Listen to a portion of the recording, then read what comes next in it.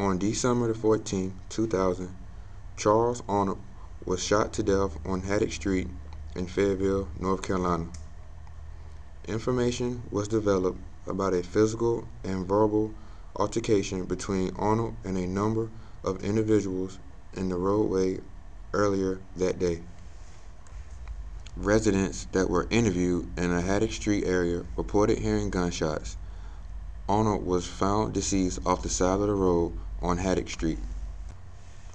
If you have any information about the death of Charles Arnold, please call Crime Stoppers at 910-483-8477 or Fayetteville's Police Department's Homicide Squad at 910-433-1860.